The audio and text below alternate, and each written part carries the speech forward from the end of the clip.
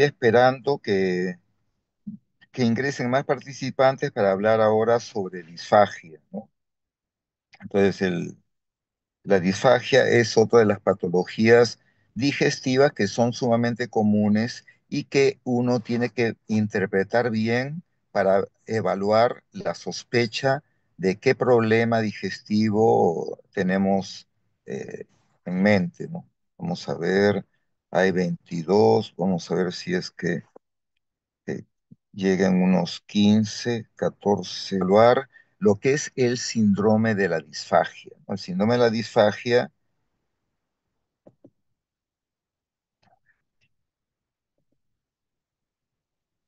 que las molestias esofágicas, las molestias esofágicas son sumamente comunes y pueden tener varios tipos de manifestación. ¿no?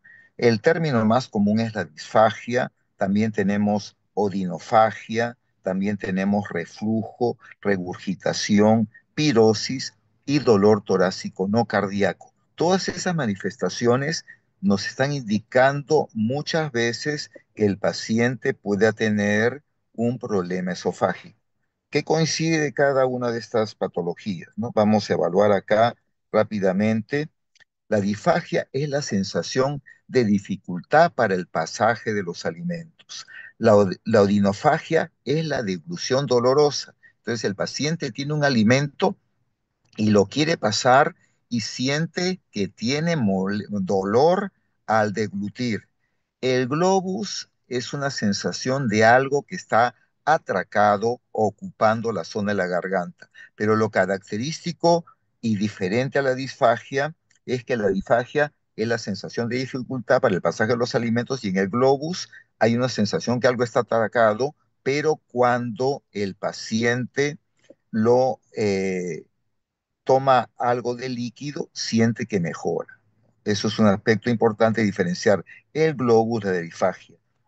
La pirosis es la sensación de ardor o quemación retroesternal que junto con el reflujo son síntomas típicos de la enfermedad por reflujo gastroesofágico. ¿no? Entonces es una cosa importante. Y ahora un dato muy interesante es que el paciente puede tener un dolor torácico tipo opresivo en la región precordial, eh, pero que característicamente no tiene relación con el ejercicio, tiene un dolor. Y entonces muchos pacientes tienen esta molestia y van al cardiólogo para que les haga electrocardiogramas, les descarte que tiene un infarto y resulta que es un problema de tipo esofágico. Y la, el dato característico del dolor torácico no cardíaco y especialmente esofágico es que tiene relación con la ingesta de algún tipo de alimentos. ¿no? Entonces es un dato importante.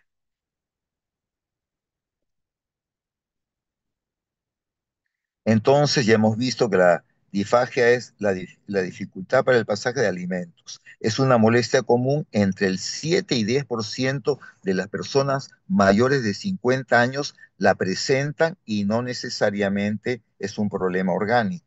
El 16% de los ancianos, el proceso es que eh, ahora no lo he puesto, pero cuando han, han, revisado fisiopatología, saben de que para la deglución y para el pasaje de los alimentos se requiere de varios pares craneales, el hipogloso, el glosofaringio, el, eh, nervio vago, todos tienen que ver con la deglución, una serie de nervios eh, somáticos también y también una serie de músculos. Entonces, en los ancianos esto puede estar fallando y es muy común la presencia de disfagia.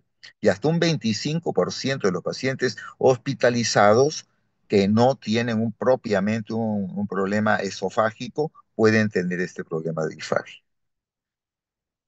Eh, y la disfagia orofaringia es aún más frecuente en el ámbito de la, la atención crónica. Entonces, en estas casas de ancianos, hasta el 60% tienen dificultades de alimentación que incluyen disfagia.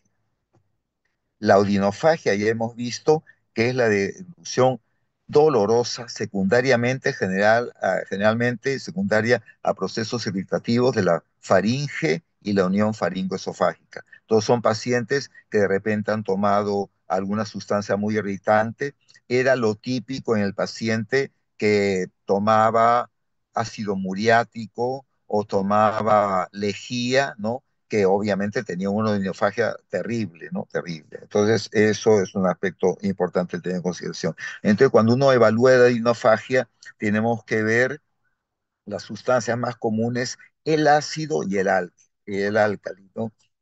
Y aunque parezca mentira, el álcali es más nocivo que el ácido. Entonces uno puede tomar ácido muriático o lejía en cantidades eh, más o menos de igual concentración y el álcali es más peligroso porque el álcali destruye las células y perfora. Entonces, un paciente que se quiere suicidar tomando lejía, no las lejías que hay ahora, sino las lejías realmente que compren, en la ferretería, no estas para limpieza porque están muy diluidas y el paciente tiene una esofagitis y una odinofagia severa y puede tener una perforación del esófago. En cambio, el ácido coagula las proteínas de las células y eso como que forma un callo y no llega a ser tan severa, pero sí, obviamente es un cuadro que puede ser de bastante severidad. Saber que hay medicamentos que aumentan la odinofagia como la doxiciclina. Cuando el paciente toma derivados de las tetraciclinas, le dicen que tome con abundante agua, porque esta doxiciclina produce irritación. Los bifosfonatos que se utilizan para los pacientes con osteoporosis. Los antiinflamatorios no esteroideos también y cloruro de potasio de liberación lenta son causa muy frecuente de odinofagia. Obviamente un cuerpo extraño, esofagitis por radiación, pacientes que han sido radiados por algún tumor de los ganglios, tumor pulmonar, esofágico, esto también. Y en los casos infecciosos, la, candidiasis es una causa importante de odinofagia y infecciones virales, ¿no? Eh, Mycobacterium también. La enfermedad por reflujo gastroesofágico con una esofagitis erosiva también puede producir una odinofagia porque este reflujo puede llegar hasta la zona de la garganta.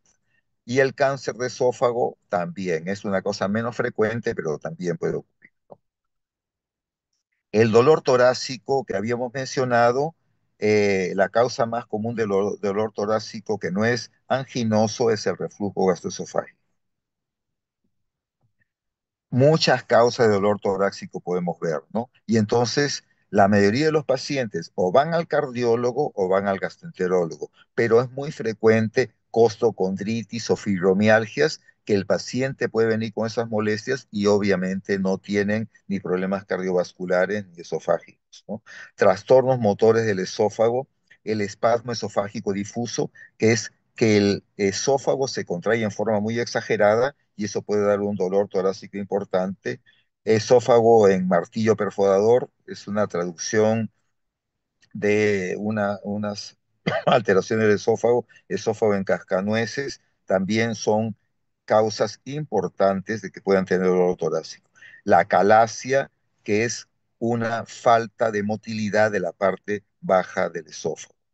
Trastornos neuropsiquiátricos, trastornos de pánico, que eso no es tan infrecuente y dolor torácico de origen esofágico funcional. Y nos pasa que tenemos pacientes que le damos todos los tratamientos y el dolor torácico continúa y esto es de origen funcional. Saber que después del cerebro, el aparato digestivo es el que tiene más células nerviosas en todo el organismo y ellos pueden tener una percepción del dolor en forma muy especial. El globo faringio, anteriormente llamado globo histérico, es esta sensación de que, eh, que el alimento se ha quedado atracado, ¿no? Y no hay una verdadera difagia sólidos o líquidos, no tiene odinofagia y lo típico es que eh, mejora al tener los alimentos. Y el término globos histéricos está asociado a que muchas de las personas eran solamente por ataque de nervios, pero en el globus, eh, pacientes con globus pueden haber otro tipo de causas que pueden ser orgánicas. Y ahora sí, como que entramos de lleno a lo que es el término de disfagia. Y tenemos que diferenciar dos grandes tipos de disfagia. La disfagia orofaringia o difagia de transferencia, que es la dificultad que el paciente tiene para pasar los alimentos desde que comienza a tratar de pasarlos de la boca a que los degluta, ¿no? Eso es lo típico de la difagia orofaringia de transferencia. Y la difagia esofágica de transporte, el alimento pasó sin ningún problema de la boca a la garganta, pero una vez que llega al esófago, como que ahí se quedó. Y entonces se siente una sensación de que no, no está pasando el alimento. Y entonces eso nos tiene que ayudar a diferenciar los, los casos y saber qué cosa es lo que puede estar produciendo. Entonces la difagia orofaringia puede ser por lesiones estructurales, de repente tumores en la cabeza y el cuello. Muy típico es un cáncer de tiroides. El cáncer de tiroides puede presionar el esófago y también eh, alterar eh, el, el, nervio laringo recurrente y hacer de que tenga este cuadro de difagia. Eh, procesos postquirúrgicos, entonces lo han operado de alguna estirpar ganglios, etcétera, y eso puede producir una estenosis de la parte alta de la, del esófago y producir esta displasia orofaringia. Procesos inflamatorios como membranas, fibrosis, el divertículo esofaringio que llamamos de Senker también. Pero también existe, y estos son la mayoría de los casos, las enfermedades neuromusculares. Entonces, difagia orofaringia, 7 de cada 10 pacientes con difagia orofaringia son por enfermedades que no nacen del esófago, sino que son enfermedades como actúan al nivel del sistema nervioso central. Aquel paciente que tuvo un accidente cerebrovascular, ACV, claro, son, son abreviaturas, enfermedad de Parkinson, esclerosis lateral amiotrófica, el paciente con Alzheimer puede tener este tipo de difagia y no pasa los alimentos. Enfermedad de los nervios craneales, que pueden ser la parálisis del nervio laringio que habíamos mencionado, los pacientes diabéticos que pueden afectar estos nervios craneales. Enfermedad del músculo esquelético en pacientes que tienen miopatías, ¿no? Entonces el músculo como que está alterado, está enfermo. Distrofia musculares o en casos en los cuales la tiroides no está funcionando en forma adecuada y está muy relajada o muy contraída y esto produce esta difagia orofaringe y alteraciones del esfínter esofágico superior. Y pasamos entonces a la difagia esofágica. La difagia esofágica es la que generalmente eh, produce mayor necesidad de exámenes porque puede haber difagias esofágicas de tipo mecánica. De tipo mecánica significa que hay algo que interrumpe el tránsito normal. Y puede ser un tumor que esté dentro del esófago o un tumor que esté fuera del esófago, pero que comprima el esófago.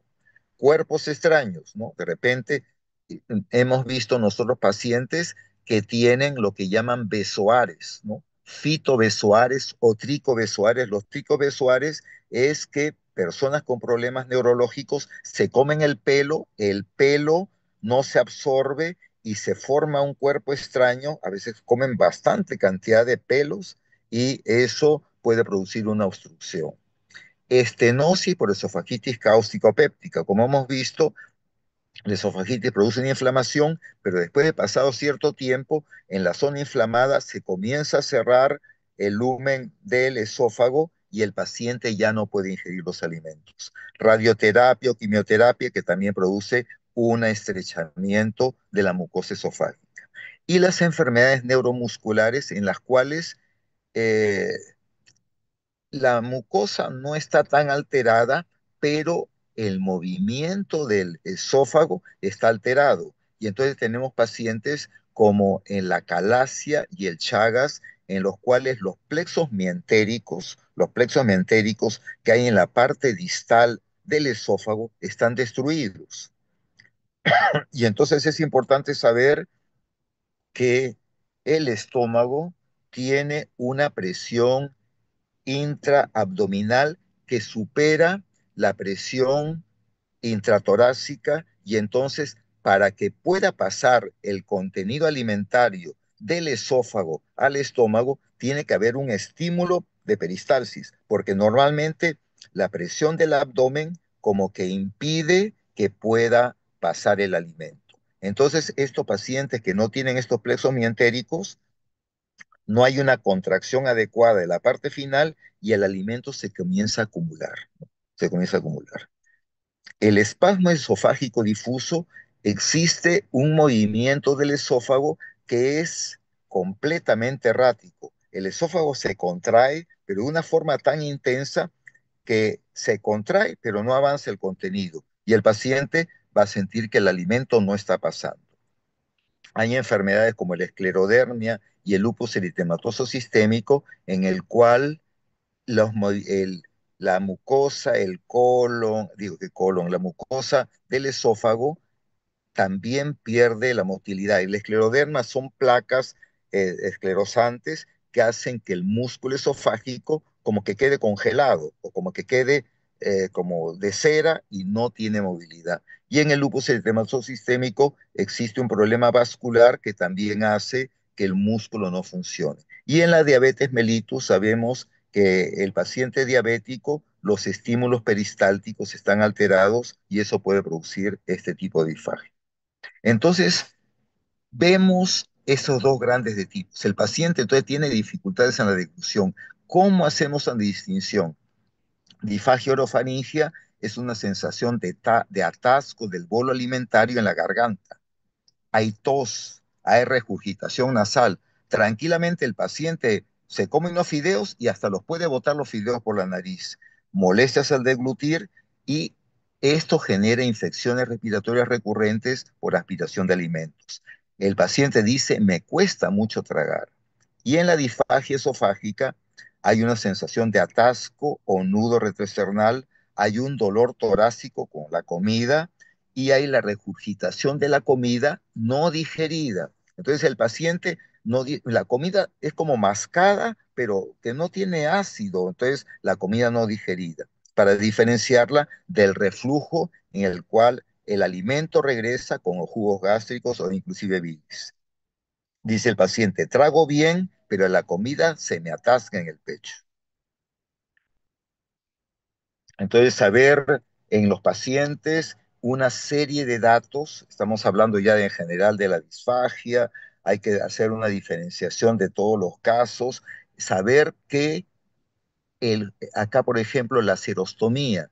Entonces, para el pasaje adecuado de los alimentos, uno requiere una adecuada salivación. Si la persona tiene, por ejemplo, el síndrome de Sjögren, hay poca saliva y eso puede favorecer que el paciente tenga disfagia.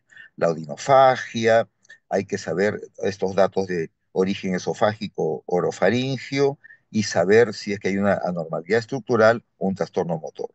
Unos aspectos importantes para ver esto, me estaba olvidando, no sé por dónde está la diapositiva, pero un dato que acá no he mencionado y que es importante diferenciarlo, es la lesión de disfagia esofágica, la lesión mecánica, se caracteriza porque el paciente puede pasar inicialmente los líquidos y los sólidos tiene dificultad y con el tiempo ya no pasa ni líquidos ni sólidos. Entonces, él dice, el paciente, yo puedo pasar los alimentos, eso sí, me dan un licuadito, no me dan algo así suave, quiero solamente mis, mi atún desmenuzado, ese gratet, ¿no? Porque el otro no lo puede pasar. Eso es lo típico de la lesión mecánica. En cambio, el, el, paciente que tiene enfermedades neuromusculares tiene problemas casi desde el principio de pasar tanto líquido como sólidos. Ni el agua la puede pasar. Y eso nos ayuda a diferenciar. Entonces el paciente pudo deglutir, pero pasa solamente líquidos. Ajá, eso debe ser una lesión mecánica. Deglutió, pero no pasa ni líquidos ni sólidos, entonces ahí debe haber un problema neuromuscular. Entonces por eso es importante el interrogatorio, ¿no? Y eso nos ayuda bastante. Saber que en niños hay una serie de disfagias, por obstrucción nasal, por lesiones orales, laringomalacia, anillos vasculares, algún tipo de linfomas que son poco comunes, pero pueden ocurrir en estos niños. En el envejecimiento, la disfagia es casi, entre comillas, normal en el 2% de los pacientes mayores de 65 años, la mala dentadura, pérdida del tejido conectivo lingual, el tiempo de tránsito faríngeo incrementado hacen que los ancianos tengan este problema. Acá estamos viendo un esquema del, eh, del espasmo esofágico difuso. Entonces, pasa el alimento, pero ¿qué ocurre? Esto es el esófago, que uno pensaría que es el estómago. Se contrae de tal forma que no puede avanzar en forma adecuada el contenido, ya sea líquido o ya sea sólido. En la calasia, acá está el lumen, ¿no? Y aquí está la unión esófago-gástrica. Uno hace la endoscopía y el endoscopio pasa sin ningún problema, porque aquí lo que ocurre es que en la calasia los plexos mientéricos no están funcionando y el plexo mientérico es el que permite que estos músculos se contraigan y permiten el pasaje o se relaje la unión esófago-gástrica. Y entonces el paciente no puede pasar porque no hay motilidad.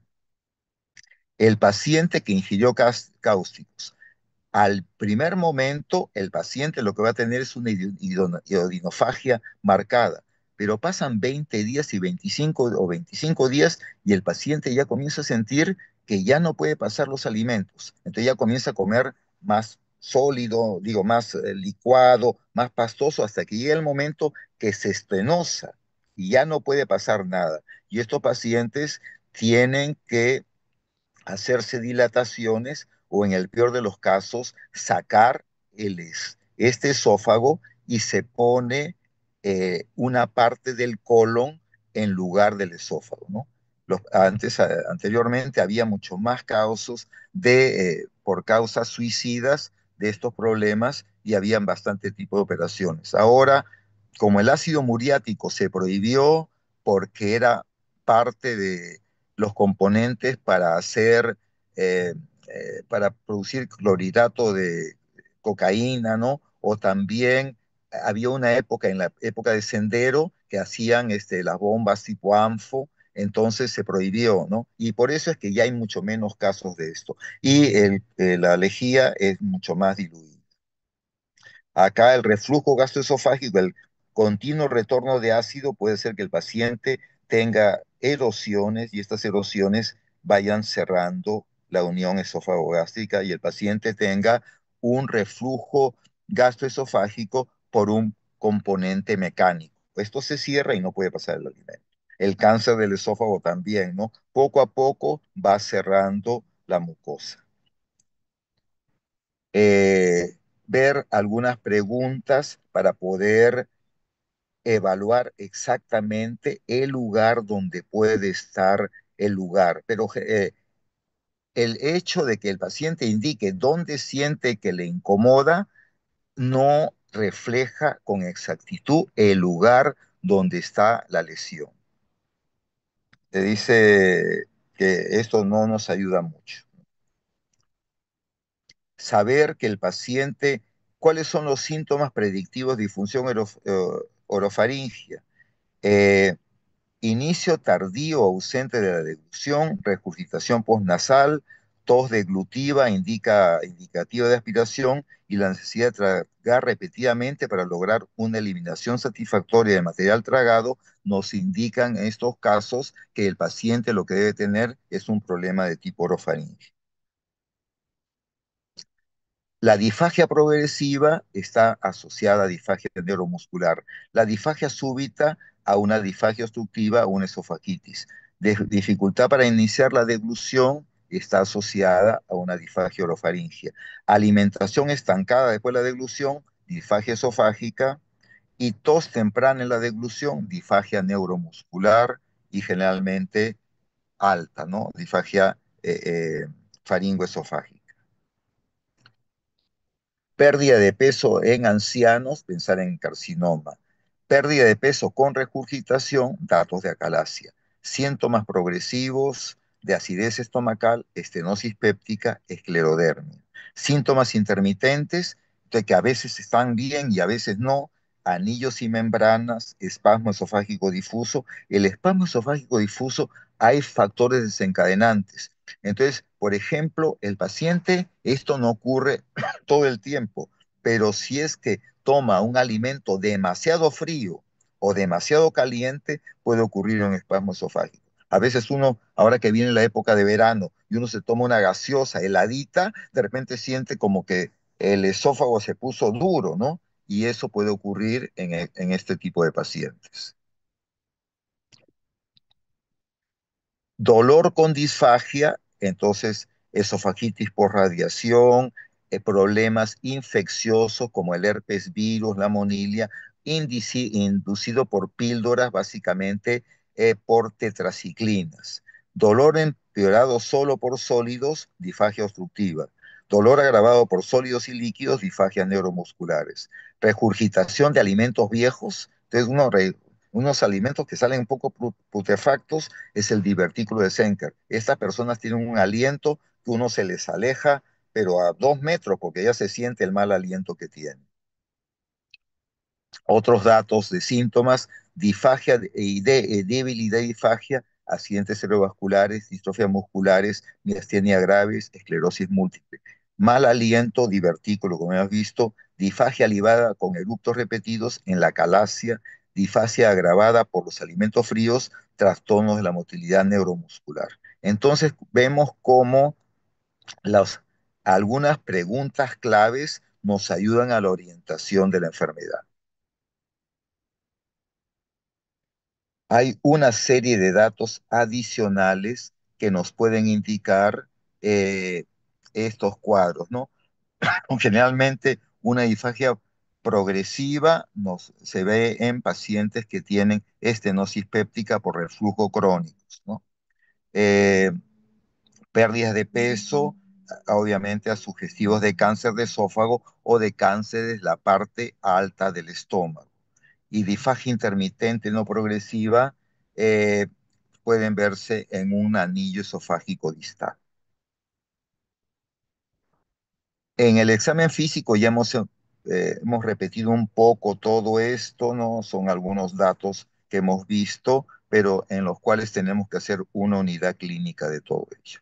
Saber que los cuerpos extraños pueden haber disfagia. En los niñitos es bien frecuente. Acá hay una tachuela, acá hay una pequeña moneda, ¿no? Y entonces eso puede ser un dato importante. Una una estrechez cricofaringia, ¿no? Osteofitos cervicales, pacientes ancianos que pueden tener crecimientos de los eh, huesos de la columna y pueden producir disfagia, ¿no? Disfagia intermitente para los sólidos en lo que llaman el esofagitis eosinofílica.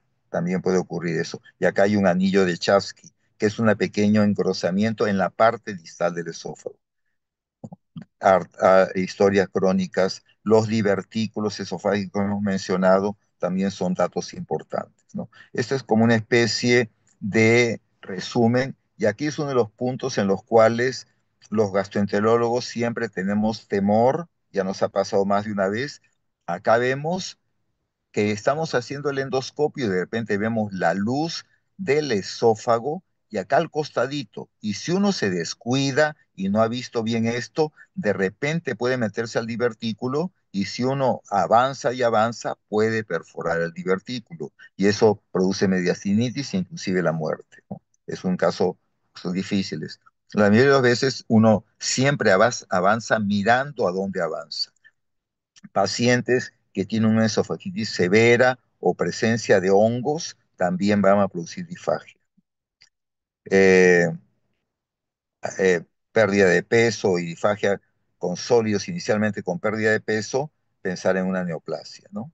Y siempre hacemos los estudios de manometría para ver en la calasia que el paciente tiene una presión normal y en la parte baja como que no hay ausencia de respuesta al peristaltismo esofágico. Mm, Aquí vamos a ver a esto la esofagitis eosinofílica que habíamos mencionado, que le llaman la traquealización del esófago. El esófago puede parecer como la apariencia de anillos o tráqueas, ¿no? Y esto ocurre, no es tan frecuente, pero puede ocurrir en un grupo de pacientes. Disfagia intermitente para sólidos y líquidos es el estófago en sacacorchos o nutcracker, que se ve también como estos procesos de espasmo esofágico difuso. Y en pacientes con anemia también pueden haber membranas, y este es el cuadro de esofagitis de Plummer-Vinson.